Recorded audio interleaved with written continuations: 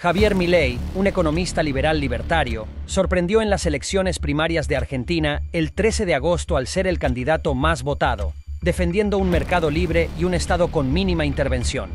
Se presentó como el candidato anticasta, oponiéndose a la clase política tradicional argentina, la cual, según él, solo busca sus propios intereses. Milei obtuvo el 30% de los votos, superando a otras coaliciones prominentes y convocando la mayor participación con más de 7,1 millones de votos.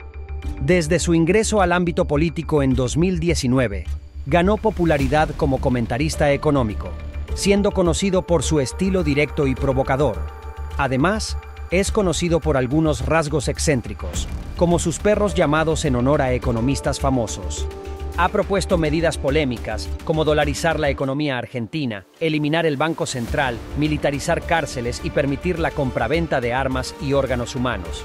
A pesar de sus posturas controvertidas, ha canalizado el descontento de muchos argentinos con la política tradicional.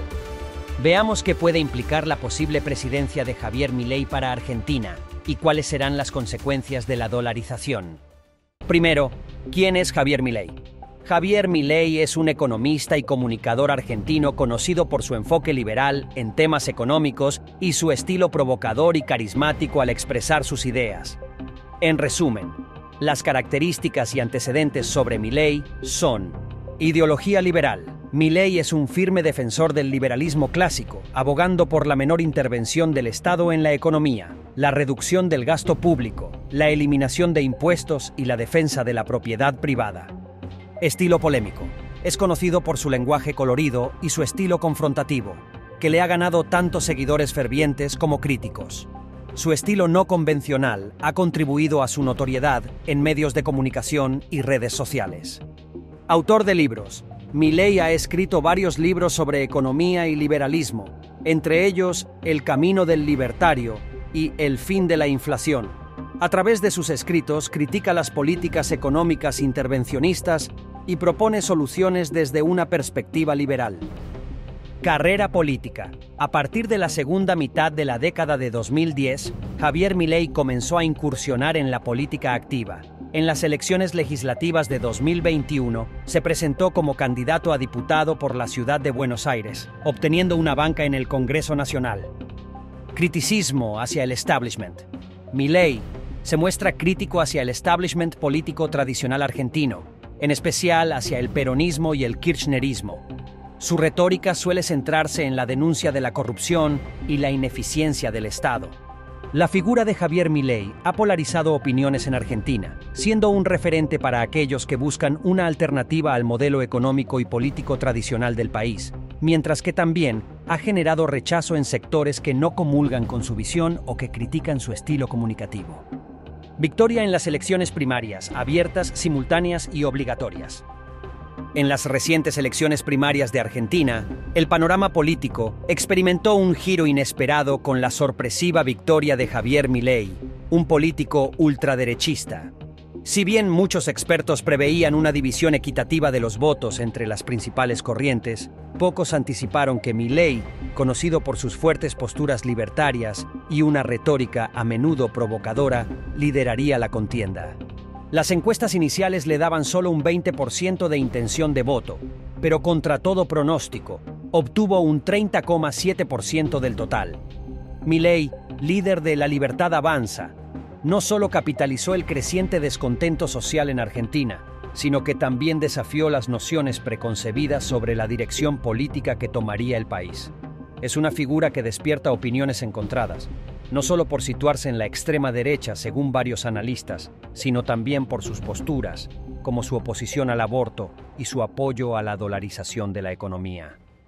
A pesar de su destacado desempeño en 16 provincias, la noche electoral estuvo llena de tensiones.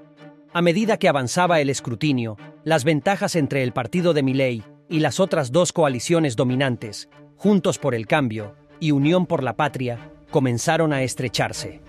Estas dos coaliciones, que representan a la centroderecha y centroizquierda respectivamente, alcanzaron un 28,25% y un 27,15% de los votos. Estos resultados marcaron un cambio significativo en la política argentina, rompiendo con la tradicional polarización entre la coalición gobernante y la principal fuerza opositora. Mientras Milei se convirtió en el centro de atención, otros candidatos también tuvieron actuaciones destacadas. Patricia Bullrich, quien sirvió como ministra de Seguridad, logró superar en votos a Horacio Rodríguez Larreta, alcalde de Buenos Aires. Por otro lado, Sergio Massa, representando al oficialismo y actual ministro de Economía, quedó en una posición posterior a Milei en el recuento de votos, aunque por encima de Bullrich. La política argentina, como reflejo de sus desafíos socioeconómicos actuales, incluyendo una inflación elevada y crecientes niveles de pobreza, está en un punto de inflexión. Las próximas elecciones generales, programadas para el 22 de octubre, decidirán el futuro del país. Si ningún candidato logra alcanzar la mayoría en esta fecha, los dos principales contendientes se enfrentarán en una segunda vuelta el 19 de noviembre, inaugurando una nueva era en la política argentina. Fin del peronismo y la dolarización. Javier Milei, tras ganar las elecciones primarias en Argentina, tiene grandes posibilidades de ser el próximo presidente. Milei, aunque enfrenta críticas por su temperamento y estilo comunicativo, propone cambios significativos en la economía seguridad y la estructura política del país, ante la destacada necesidad de abordar problemas como el crecimiento desigual de la población, la mala gestión económica y la rivalidad política. En simples palabras, pretende liberar a la Argentina del peronismo y sus consecuencias. Enfocándonos en lo económico, mi ley pretende reducir los impuestos y dolarizar la economía.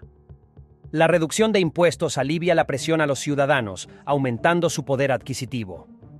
Para el Estado implica una reducción de los ingresos, que mi ley lo equilibrará eliminando ministerios y reduciendo el Estado, minimizando los gastos públicos. Entre ellos, también se encuentra la propuesta de eliminar el Banco Central de Argentina. Las funciones principales de los bancos centrales son la emisión y control de la moneda nacional y el control de la inflación. Si bien la eliminación del Banco Central es muy controversial, tiene sentido cuando la economía se quiere dolarizar y la inflación ya se encuentra fuera de control. Ocho posibles consecuencias de la dolarización. Estabilidad macroeconómica.